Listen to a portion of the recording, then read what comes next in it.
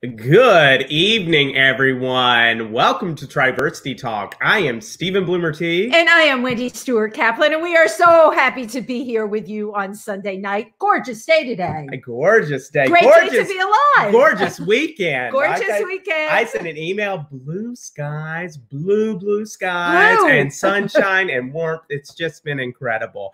Um, but we are very excited um, for our guest this week. But before we get to that, as usual, whether you are on YouTube or Facebook right now, welcome. And if you don't mind giving us a like or a subscribe or a thumbs up on this video, that helps us get We- to a broader audience. So and we love it. Our egos need it. Well- yeah, but what he said about getting to a broader audience. Uh, is- and, and, and not- our egos. and our egos. I just flat out keep it real.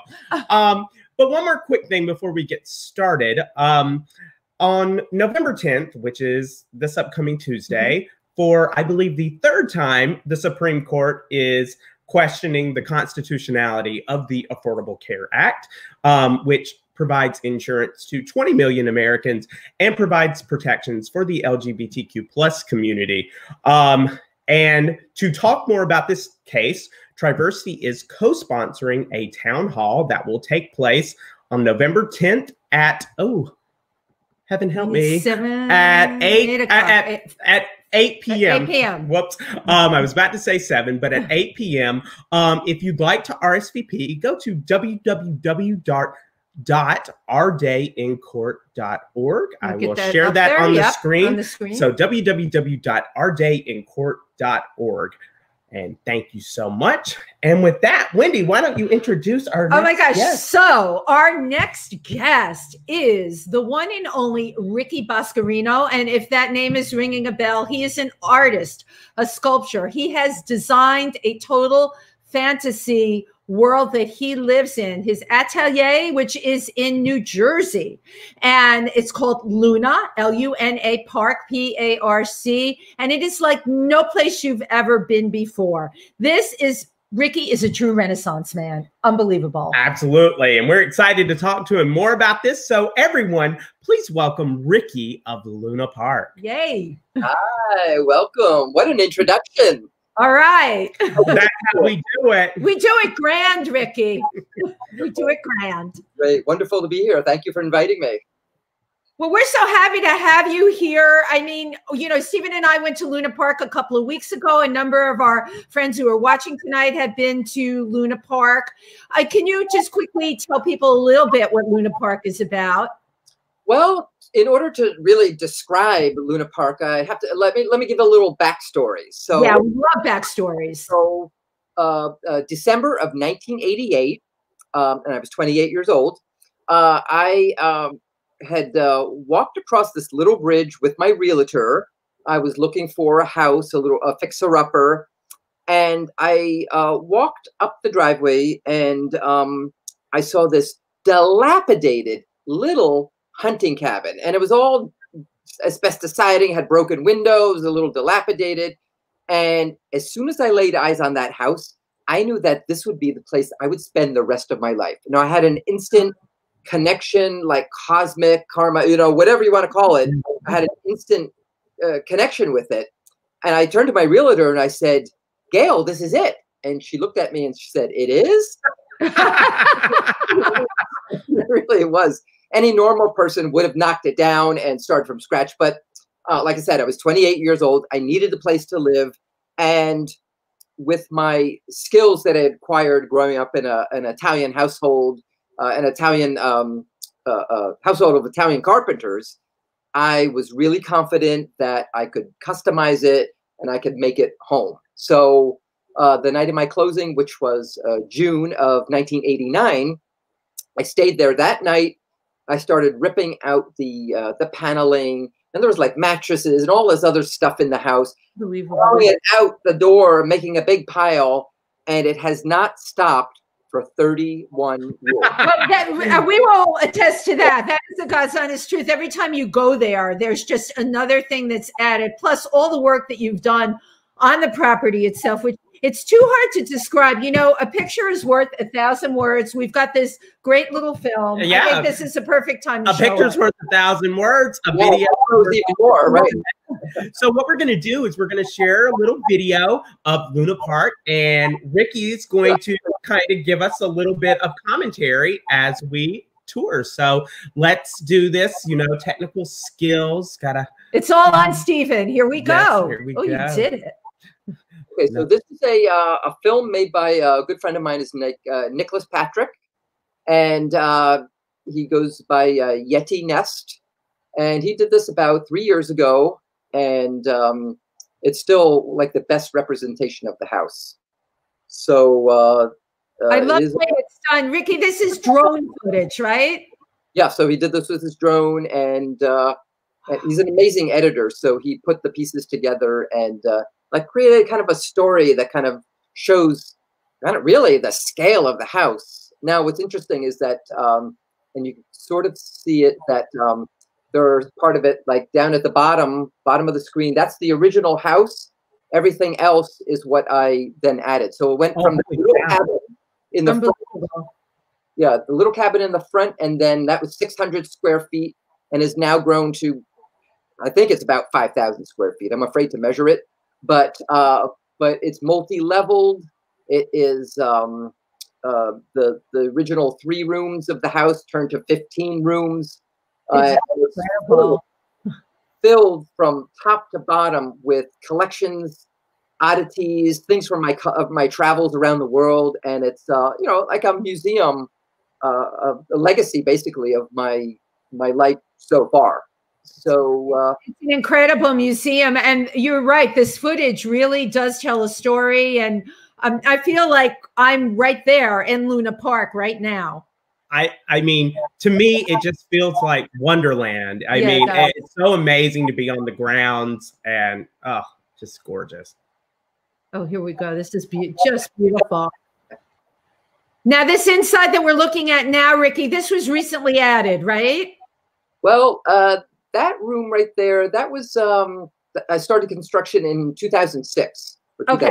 2006 around there and uh, so that was um, the original um, yeah if you get a chance to check out yeti nest films he's amazing nick is great um, so um, So, So- really, like every year, you're adding to Luna Parc. yeah i mean all the time i mean there's there's hardly a season that would go by where there's not something going on. Either it's uh, I am adding more mosaics to the side of the house. Uh, there's about about three quarters of the house is mosaic inside and out.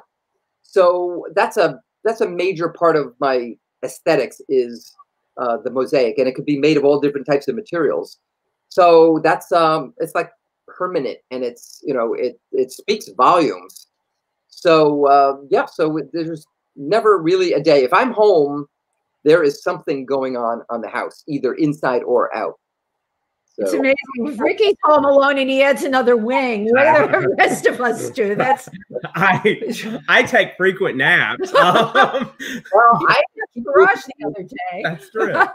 my uh, my secret is just like just keep moving so uh and uh uh, fortunately, um, I'm able to have uh, some interns and students helping out in different things. So, so now I have a little bit of a like a little bit of a, a workforce, so I can actually conceive of larger projects with Right. with assistance in mind. So I can conceive of larger projects, keep them going, and uh, and then and in the meantime, also uh, giving back to these students who are learning hand skills. They're learning all about aesthetics. They're learning about how to support themselves as artists.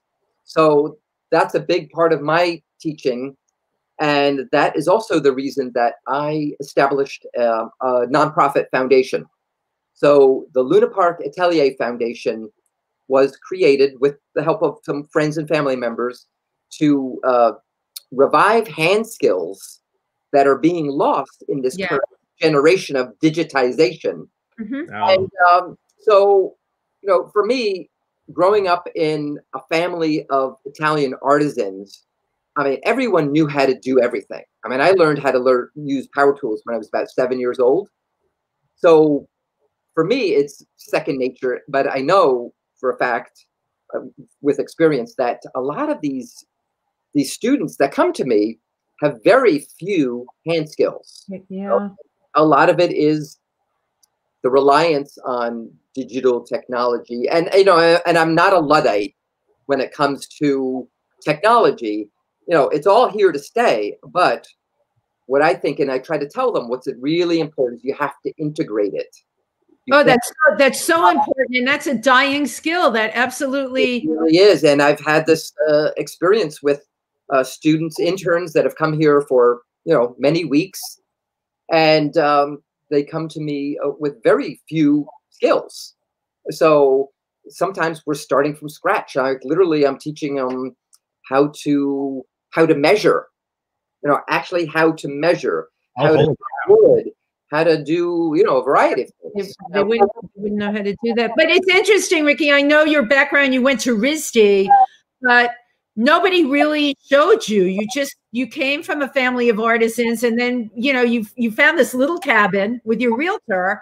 How did how did you become such a visionary to know that you could just do this? I mean, it's quite remarkable. Well, I, and I have to go back to my my upbringing in a family where you know there was artisans. I mean, we had uh, there were um, carpenters, there were furniture, you know, fine furniture makers. We had masons, seamstresses, great chefs, All those. Amen. Because how could you? uh, wonderful kooky thinkers on both sides of the family. So Thinker. grow in that kind of environment, you naturally like absorb information, and then the more I, you know, you know, and I, I was also fortunate that my public high school in uh, Piscataway, New Jersey, had established an amazing art program. So I really got a firm foundation, continuing all through high school, and then my four years at RISD, and then uh, I did a one year at um, uh, at NYU Graduate Film School. I ended up going one year, but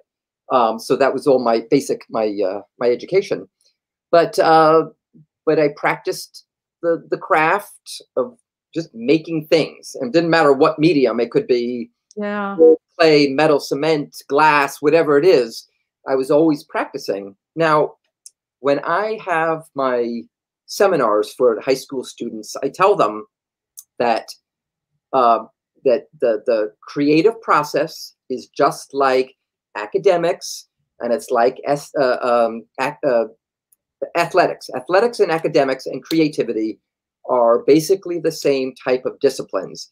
You have to uh, study, you have to train, and as a as an artist, as a working artist, you have to practice it every single day. It's a it's it's not something that you you do like a couple days a week. If you really want to succeed, you have to train, and the more you train, the more the the process is that you can uh, you get ideas, and ideas come to you easier. Right. They get ingrained in your head, actually. and it's easier to translate them. You, you realize them and it's just like academics and athletics. So i tell the kids if you want to be a creative athlete you have to treat your creative practice as if you're an athlete Yeah. so that's how I feel. so i'm like I'm Absolutely. Mr. universe I mean, and I, I think that people might get confused. I mean, with artists and performing artists, that it's just, oh, well, you're naturally talented. And that can be true. Obviously, you are naturally talented, but it's so much more. And it's the time and the practice. This is what's going to make you, you know, from somebody who has raw talent potential into a incredible artist. Do you find it's challenging now with kids that are um, they're just wired different, right? Because they've grown up with with computers, they've grown up in a digital age. Do you find that it is challenging a lot of the time? Well, it's challenging to the a point like when when students come to me with you know no skills or very little skills, and then we're starting from scratch basically. But I have found that even um, even with that, that most students do have an interest in learning a craft or you know learning how to work with their hands uh, and a lot of times it's just that they haven't had the opportunity and they haven't been exposed to handworking. So I would say that's probably more so. Um, it's very rare that I would uh, encounter someone, especially like an intern, hmm where they would not have an interest in even learning. Most of the time, they're just like starving to do things with their hand, but they just never had the opportunity. And one of the reasons is, and I hate to say it, it's uh, you know in our education system uh, where uh, budgets are getting cut constantly. The arts are usually the first thing that get cut, and you know what they rely on then is, you know, digital digital design or you know things that are easily accessible. You And know, inexpensive to put together. yeah, I mean, there's not many, you know, uh, schools that have a ceramic studio or a wood shop. You know, where you know when we were all in school, I mean, that was, you know, you had to take shop or you know you had to take, you know, even home ec or whatever. You had to learn these, and it was required. Now it's not required, and I think that's that's going to be a, a huge Downfall. problem. Now, also, you take like, okay, so I had an intern uh, a couple of years ago, and uh, her interest really was in um, CAD, you know, computer aided design, uh, and 3D printing. Now, the problem with that is that, uh, you know, you'll create a design, whatever, and maybe make a 3D model, and where does it go? It goes overseas. So there's all this emphasis on jobs, jobs, jobs, jobs that are leaving the country. Well, there it is. There's one aspect. You know, we're losing we're losing the tactileness of making things because computer aided design and mm. 3D printing goes elsewhere. So everyone's screaming about jobs are jobs, but the reliance on digital, you know, a tech, you know, the technology makes things go leave the country anyway. Things get produced overseas. And it- like I said, I'm not a luddite when it comes to technology. I use it. I, you know, I'm reasonably good at it for my age, but, uh, but, um, but, uh, but the reliance on that, you know, what I always thought that you should rely on your hand skills first, and then, then rely on the digital aspect of it. So that's Well, Yeah, with what you're saying about that, you're talking about building a foundation with your hand skills right. and moving moving into the digital aspect. It's interesting. We're talking a lot about creating, and a lot of what you do is creating, but a lot of the things you create are from collectibles. I know on your wish list, you've got on Ricky's wish list I love it. license plates, bowling balls, and yardsticks. Could you elaborate a little Don't bit? forget about the iris and peony root. Right, the iris and peony. So, uh, so I used to gather so much stuff, like whatever I saw, whatever people brought to me, I would save it. I would cram it in my sheds, and maybe something would get used at some point. So, so I pared it down to just what I'm really using right now. So the wooden yardsticks. So I've been using them all over the interior of the house as wainscoting, as window trim. I cut them at uh, angles and little pieces. So I'm basically doing like mosaics by cutting up the yardsticks and reassembling them, and um, and doing like entire walls of yardsticks. And what's really interesting is that when you look at it, you can't quite see it from a distance. You don't know what it is, and when you you know actually go up and look at it, you know people realize what oh my god those are yardsticks. Or and same with the corks. If you remember my kitchen, Oh yeah, covered with corks that I've nailed one at a, one at a time up, you know, in kind of vertical vertical rows, and it looks like bamboo. And um, until people actually go and look and see, oh my God, there's like thirty thousand corks covering all the walls in my kitchen. Uh, the uh, bowling balls. So started off as a kind of like a joke when I first, when I first bought the house. I had had a couple bowling balls and I put them on a post in the Yes. garden, and then then I had a dozen of them, and then I had like twenty of them, and then when I started opening the house to the public, people would bring them, and then I would get like ten at a time or twenty at a time. The last count was about eight hundred fifty. that's amazing. So So it was No, amazing. Let me get this right. So people would come to tour the house and they would bring their bowling balls with them. yes. Now Wow. I also have one area. I call it my family bowling ball graveyard because I have my my grandmother's bowling ball and my my well, all my uh, my Wow. grandparents and my dads and my moms. I have them all in one area. So and they all and many of them have their initials. My grandmother's her name is, is Susan, so she has Sue, and hers is very special to me. So uh, so there are some special ones, but uh, yeah, there's about 850 around the property, and uh, that was the last pretty good count. I mean, there might be more, but they're embedded in sculptures.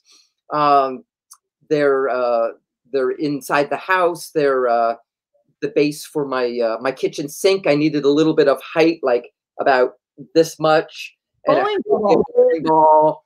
So they they kind of appear everywhere.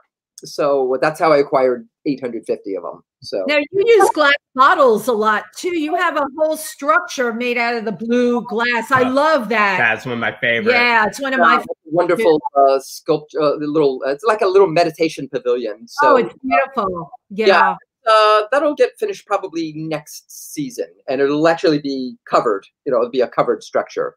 So, but like I said, there's so many things going on right now, and uh, you know, there's always been a lot going on, and um, and I traveled a great deal, and uh, when the pandemic uh, struck, um, I had to really rethink my whole business model, rethink like you know how I was going to make a living because you know I'm I support myself and Luna Parc 100% with my artwork. I mean there is nothing else. It's great, great for artists to hear that. with my artwork. So I had to uh, basically, um, and I used to do craft shows. Everything got canceled. My open house got canceled. Everything got canceled. So I uh, put everything online and um, really uh, kind of changed the whole way I do business now. And uh, so, in that respect, you know, when I talk about technology, techno- technology really saved my life in particular. So, uh, but um, yeah, I think I think right now, anyone doesn't matter if you're an artist or what, like adaptability is the name of the game. Yeah. We have to adapt, and we have to adapt to these situations that we find ourselves in now. Like the pandemic actually forced all of us, you know, it was a big eye opener in in many ways. Should be interesting to see how, what our life is like a year from now. Yeah, when things you know, people always talk about what normal and what the new normal is going to be. Yeah, it's really interesting how we look back on this ten years later and look back on these you know these times right now. So. Ricky, who's your friend that's sitting next to you? Oh, good thing you asked, actually. Who's your little friend? so I started doing um, this series of what I call face pots um, in 2007. So uh, they, I would, I would make these, you know, faces, and um, and this is one thing that I started last year, about maybe about a year ago, but um, this year, you know, when everything shut down, I really thought I need something new. I need like a new thing to make and create other than jewelry. Uh, jewelry sort of kind of tapered off my jewelry sales. And then I started really going full steam ahead with these, which I call uh, my face pots. So these are done on the uh, potter's wheel. So this is uh, Frida Kahlo, the Mexican artist, one of my idols. And um, so the original piece is made on the potter's wheel, and then her hair has been all uh, carved, and uh, the flowers in her hair, and she's Great. even wearing a pair of my earrings, Oh, fantastic. Little skeleton earrings. She was very Those, oh, those are great. Those are skeletons. So, question: How long does it take to make um, Frida Kahlo? Um, You know, I, I it's funny because I, I make several of them, you know, at one time. So, uh, but uh, they're very uh, the, there's a lot of steps involved. So here's um, okay. Any guesses? oh, oh, I had to put on my glasses for this one, Ricky. Charles Manson, Riley. That's a, he would be a good one actually. So, uh, Jerry Garcia. oh, Oh wow! I was Uh, going to say Charlie Manson. Oh, Ricky oh, would wow, how unusual. I wouldn't do that. It's a bad guess. Okay, let's see this. oh my gosh. Oh, that is so cool. Stevie Wonder. Yes, good. Oh, I got it. Well, I did so bad on the last one. How about Oh my gosh. I. Here, I'll hold it up a little closer. Okay, the hair, the lips, the eyes. She's beautiful. Yeah, I. Can you give us a clue? Yes, a hint. Stop in the name Runner of Oh my gosh. Oh, I love it. that That's so- beau- th- uh, that's incredible. So, you know, and I have to say, sometimes there's more of a resemblance. Uh, you know, uh, I don't know. This is uh, this is something that's um, a fun one too. Uh, so uh, if uh, mostly our generation knows this one from the original Planet of the Apes, It is. Doctor Zaius. The irony is that's the one I knew. I'm not from that But generation. we're like one for one here. Uh, and then uh, I have um, Even. uh, fun patriotic ones. So I do a whole That's great. do a whole patriot line also. So this is uh, And I love the stars in the eye. right. Fantastic. Absolutely. So yeah, they're all functional. They're glazed inside, so they can be used as flowers. And uh, yeah, there's like there's over a hundred on my website right now. So they're all different themes. You can go to your website, right, and order things. Absolutely. is your website? So it's lunaparc.com, L U N A P A R C.com, and uh, lunaparc.com. Make sure you pel- spell park with a C. And yeah, I have uh, there's an online tour of the house and sculpture garden. There's um, some bio information about me and uh, and jewelry, ceramic. work, all kinds of Um. I brought my earrings. I have a lot of earrings. Wonderful. Yes, I love those, Wendy. Those These are my favorites. I wear these, and people are like, "Those are amazing. Where did you get them?" And Ricky, if you recall, I'm a clip-on girl. Okay, Right. so it means a lot to me that you make earrings for people that have clips. These are also Luna Parc earrings, and then of course this pair. Yep. And stuff, what's so cool? It's just it's one of a kind. Which I wear this, and people are like, "Where did you get those fabulous earrings from?" I love these with the blue stones. yeah, those are called Jane Jetson. What are they called? Jane Jetson. Oh, I'm Jane Jetson. Yeah, I like that. I- that is very cool. And then we have this la- last pair here, which um, I'm not doing a good job of showing them, but here we go. Right. I love you. You know what I love so much that you work in metal and then you put um, a jewel in it. It's it's really it's such dimension. I acquired um, a lot of these. Uh, these are all antique glass stones, and Ah. acquired a lot of them. Actually, a lot of them came from Providence, Rhode Island. So when I was going to school, uh, there were these different houses that would sell all the old stock of just you know the gemstones, unset gemstones. So I've gathered them for years and years. So that's actually some of the main components. Those those mosaic pieces, that mosaic of yours, yeah. So those are all uh, individual little glass stones, and I set them with a pair of tweezers one by one into the bezel. That's But- amazing. You must have good eyesight, Ricky. I, it's not too bad. I do wear glass glasses. See not too bad. But um, you know, uh, uh, going back to uh, what I said about um, uh, my high school, my public high school, Piscataway High School in New Jersey, uh, having a uh, they built us a new wing of the school, a brand new school actually had a, a fine arts wing. Which was really amazing. So that was the built, I think, 1975, 76 or something like that. And um, they, um, I really got a solid foundation in my art. So that's what I think is it's unfortunate that I, I know for a fact that that program is no longer available at the school, as is and as are many Anywhere, right? everywhere. And I think it's uh, I think it's a real tragedy because you know the humanities are literally what make us human, and without that connection Yeah. uh, you know, where are we? We're we're lost in you know the ethers. So um, for me and my uh, my the nonprofit that I started, um, our focus is on on the uh, the hand skills and kind of returning to fundamentals of learning how to you know how to how to survive and how to how to create. The other thing that's interesting is working with um, the students. They come to us you know they live at luna parc for their time as interns and uh, i also find that um, they don't know how to cook either i mean very few so a lot of times we're teaching life skills. oh God, wow. on top of on top of art, my gosh. Yeah, we're we're teaching how to cook, how to do laundry, you know, and, and the basic things that for some reason they're not learning, you know, at at home or school or wherever or in life. You know, they don't even know that things are options for them. So a lot of times we're really we're getting some of these students uh, literally, and we're starting from scratch in a lot of how them. Did they find you? Yeah. How did the students find? You know, uh, a couple different ways. So uh, sometimes we'll actually post. Uh, we'll post uh, a position, an intern position at the school itself.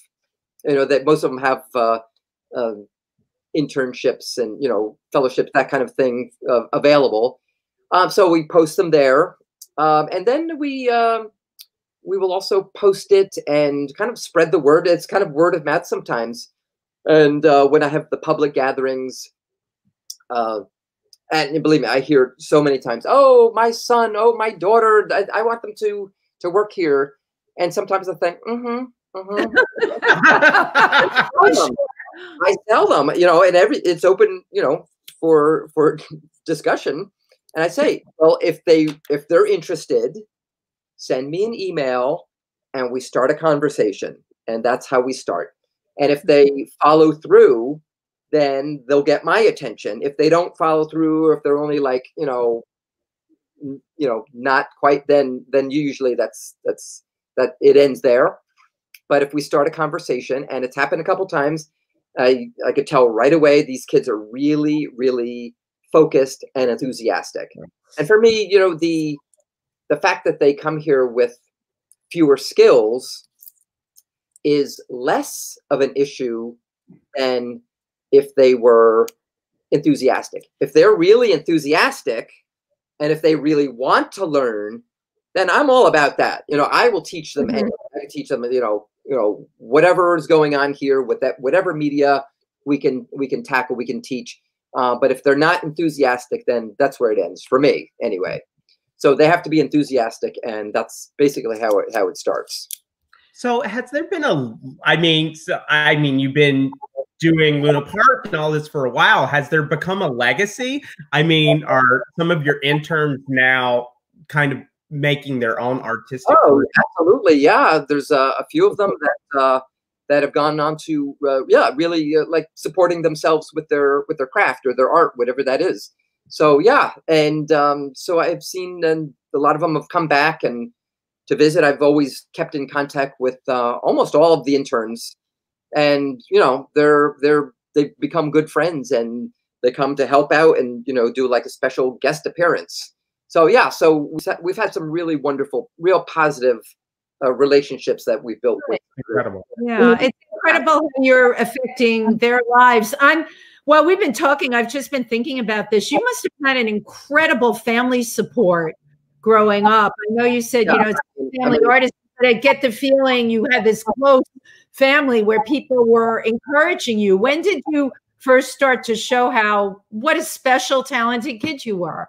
Uh, you know, really, really early. Like when I was very, very young. Um, uh, like one of the things I would do is I was whittling. Like I would whittle wood. I would make little figures out of wood, and I'd probably like I don't know seven, maybe seven years old. My dad taught me how to use a jigsaw when I was about seven, but I was always doing art. I was always making things as a very young, little kid, and um, yeah, I'd say by the time I was like seven, eight, nine, I was really I was so focused, and even my teachers, you know, noticed that I was really, really interested in art. So that was kind of a natural progression. And coming from a long line of artisans and artists from my family, uh, and on both sides.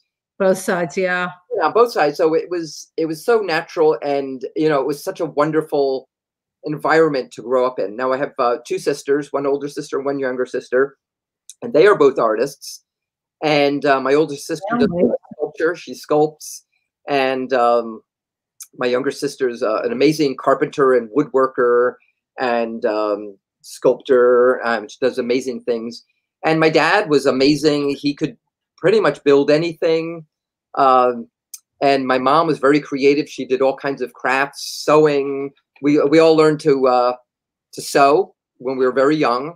So uh, so we knew how to sew we were young, and uh, you know we could learn how to do some masonry when we were young. so you know it's like that's wow. what we grew up in. You know, and our house growing up uh, was always being remodeled. So my mother would think of these wall treatments or window treatments and my dad you know would do a sketch and they'd talk about it and then my dad would build it so there was always you know things and it's just like you know my house my house is in this perpetual yes. i was about to say and grown up ricky has done yeah. evolving and that's the way and my right. parents is still that way my, my mother will uh, she's an, an, amazing seamstress and craftswoman so she'll make um, matching uh, like a valance over the the window with a matching bedspread and then the next season she might actually dismantle it and then the uh, the valance then will become a tablecloth and uh, you know everything's always getting everything she repurposes it you do that as well yeah absolutely now one thing we've never did she never had the valances uh, she never took down the valances to make uh, jumpers for us like in the sound but wow. not all of us can be Maria von Trapp. Yeah, really. but uh, yeah, so uh, you know, and I know that um, I had this wonderful advantage of you know that kind of uh, uh, support in the family, and I know that's not the case because I know a lot of people who grew up, uh, you know, who grew up in artistic, who were talented, who do not did not grow up in an artistic family, and they had to really like really work hard to con- convince their family of that. to you know that that was that was valid and you know and to not be discouraged when they said no no no you can't do that. You can't support yourself as an artist. And you know and that's all that's all rubbish. And i really resent when when uh parents dissuade their their you know their children from following their passion for something that's you know gonna think they they think they're going to support them better. When the reality is that in the United States and you know in many countries uh, art is a commodity. And you know you can easily support yourself uh, well, not easily but it's like any anything you do you have to work at it. And you know if i i try to lead by example teach by example for me um, I, I supported myself I mean, since college, since, you know, like, you know, what, 30, you know, 40, 40, 35 years or more supporting myself, you know, self supporting, self employed artist. Yeah. I, I do think, though, you, you have to, that there's a lot of really good artists, but to be a great artist, you know, my my husband has been supporting himself as an artist since he's 17 years of age, but he's incredibly talented he his family they just left him alone. He was so out of control, nobody knew what to do with him anyway. He's still that way. I was about to say. Right. So they just let him be. But that passion was always in there. And I'm sure you probably see kids that are, are like that. You probably see parents that want their kids to be great artists, but you know what I'm saying? That spark isn't right. there. Sometimes it's just the kid has just got to be bursting with right. all art that they need to create? Now, you know, and since I've been sort of uh, vetting these kids, you know, these students, I mean, I can tell pretty well, like right away, you know, if they do have an interest, uh, you know, and even if they're not like good at mosaicing or whatever it is, I mean, I can usually tell right away uh, where where they're going to go, you know, and if they're going to really, if they have the enthusiasm to to succeed, or or even just to be a part of what's going on at Luna Parc. So, so Ricky, question for you. I mean, um, with parents who don't support um, art in their children, that there could be a gender component to that? Do you think that parents might be less apt to support, um, you know, a boy um, versus a girl in pursuing art? You know what? I, I mean, I have to say, probably yes. That's probably that's probably true. I, you know, gender identity. Uh, it, it's such a stigma in our culture, probably yeah. more so than many parts of the world. Really, I mean, maybe not in underdeveloped countries, but but certainly here that. Um, and I don't know how it is really so much so much today, uh, but uh, there is an aspect of that I think that is um, in our countries that you know boys were were are programmed to go into something that might be more uh, you know manly or, or, or manly. I mean, that's not across the board, of course, but uh, but I think there could be a little bit of like a little bit of a gender discrimination when it yeah. comes to parents wanting their children to follow a certain path. I think Stephen really brought up a, a very good point because now what's heavily emphasized in schools is sports. All right. That you know, like you're saying, they're not putting money behind the arts, but my God, football, you basketball, baseball, you can get all kinds of scholarships to, to college with that. And there's there's where they're putting their money, and yet like the arts to me seems to have, as you said, fallen by the wayside. It it just doesn't seem to be a great way to think. You know, we need to have everything. There needs to be a balance. Right, right. And I think that's the problem is that uh, that it's way, way out of balance. Out of balance, Absolutely. yeah. Extremely out of balance because, um, you know, like me, I mean, it, I couldn't do sports. I was like the worst, worst. Me too. I was always the kid that nobody wanted on their sports team. I was terrible. So um, but I would spend, you know, my refuge was the art room, you know, and uh, you spend your time doing art. Yeah, right. Be expecting you to play right. sports. Right, right. So, uh, you know, that's like I said, that's why I became the creative athlete because that's where my strength was. Uh, and I did get the support from my, my family members also. So I think that's what's unfortunate is that, you know, some people who are really, truly talented do not get the support. Not only do they not get the support, but probably even discouraged from pursuing their passion. And I think that's in the long term, and you think of like the great picture of their future, of our future, being discouraged to follow your path is really probably probably one of the worst tragedies that could happen. You know, it's and, it's everything. It's like, you know, this concept where, you know, having to support yourself and no you can't support yourself as an artist you have to become you know go into business or whatever um, and um, and kind of in the same respect if i can like digress slightly but this is kind of related so when i give lectures about luna parc i tell them that um, one of the great tragedies in our culture is this concept of resale value okay mm. so resale, this concept is it's been the bane of creativity because say if uh, someone did um, a mosaic in their house um, if they go to sell their house that mosaic is not considered an asset. It will never be considered an asset in this environment. It's considered a liability. So that's why um, you know uh, uh, where I'm, I'm talking about where where creativity is not valued. You know, things aren't valued; they're considered liabilities. So imagine if you were to buy a house and there happened to be a mosaic. You thought, "Oh my God, this is great! This is an asset because it's got a mosaic or it's got something, some unusual feature in the house." Um, there's a, it's like, it's like discrimination because there's something interesting or unusual about the house, which should be an asset and in fact it's completely the opposite when you think of like the like the real you know the the idea of real real estate like sellable real estate so well, I mean, we've seen so often these cookie cutter housing developments yeah. coming up now, where there's nothing original. They're all basically alike, and yeah, just even when they sell apartments in New York, they the realtor will tell you, you know, we we want it generic. Here's Right. what people want. They want white, well, generic. That word comes up a lot. White walls, pass through kitchen, the floor is done. They don't want any sense of personality or something that may make it different. But that's why you're here, Ricky. I always had this dream of of building a um, um, a, a planned community, like a gated community. Except we our gates would be gorgeous, beautiful, like all filled. right. It's right. Opulent.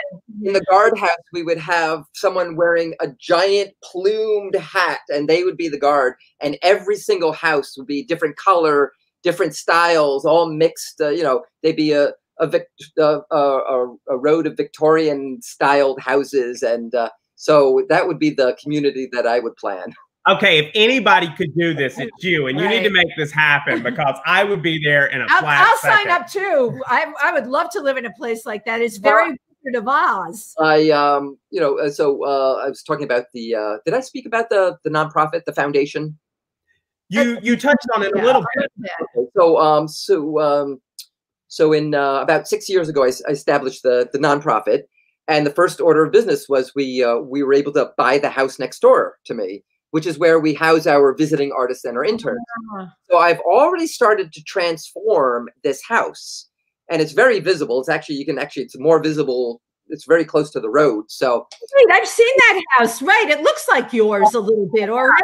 kind of transform it. And once we do it, once we have a windfall for the uh, the foundation, I really want to rip it apart or tear it down or something and rebuild it. So um, um, my idea is that I would love to acquire the house across the street from me and maybe another house and start transforming it so that Right. you walk, you drive down my road, DeGroat Road in Sandyston, New Jersey, and all the houses are all um, you know interesting and and all there's lots of art and art and it's all about art And fantasy. It's all about art and fantasy. fantasy is the reality Yes. We'll Oh, call, it, that's we'll call it Rickyville. lunaville I was about to say Lunaville. you got to play up Luna Parc. Right, Lu- Lu- Lunaville. Ricky, now you make um jewelry. You make pendants as well. yeah so uh, so i have a couple pieces to show you so I'd love to see those. here's a great piece uh, so um so this is a fully now. articulated skeleton even the jaw I see the to move Yeah, hold Oh it, hold my it up. a. Oh my God, he he talks. Spectacular. Uh, all the bones are all jointed. I actually have a real skeleton, a real human skeleton. So I model all of these after. Of Uh, course you do.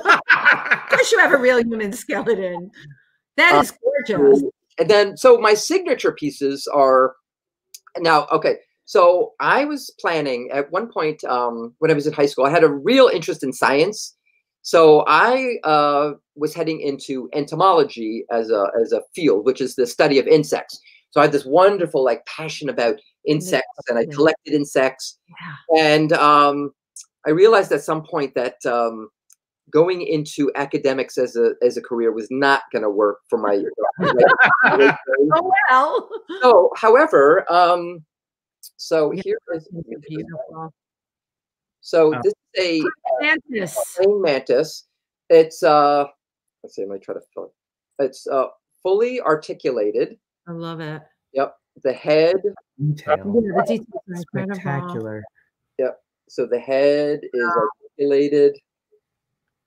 He's beautiful. I can see his eyes. Now people can find um your art on lunaparc.com, correct? Yes, absolutely, sure. Yeah. Here's a wonderful. Uh, this is a bumblebee.